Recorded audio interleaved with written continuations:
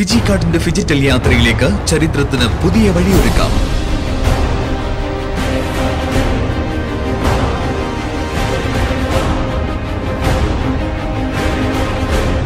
ഇന്ത്യയിലെ പ്രവർത്തനം ഒരു വർഷം പിന്നിടുമ്പോൾ ഫിജി കാർഡിന്റെ ഫിജിറ്റൽ ഇ കോമേഴ്സ് പ്ലാറ്റ്ഫോമിലേക്ക് ഇനി നിത്യോപയോഗ സാധനങ്ങളും